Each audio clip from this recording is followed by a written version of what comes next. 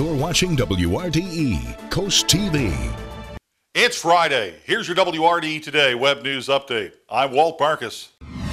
Here's a health alert. ConAgra Brands is recalling several cake mixes. Salmonella has been found in Duncan Hines Classic.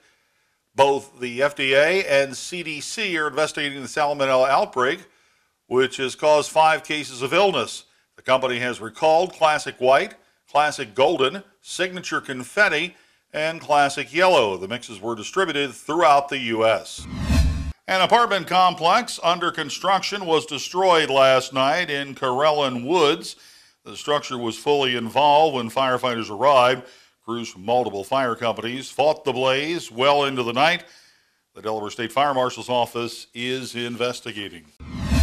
The main attraction is politicians coming together and burying the hatchet after a tough election. This is the 103rd return day. Thousands came out yesterday, watched the parade, marching bands, floats, and of course, candidates in cars.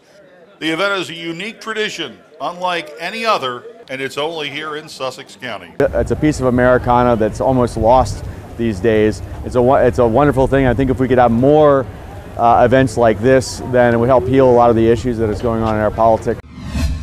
Our WRD person of the day is Jennifer White of Greenwood. If you run into Jennifer, tell her have a great day from all of us at WRDE. That's the Friday WRDE Today Web News Update. I'm Walt Marcus. Have a great weekend.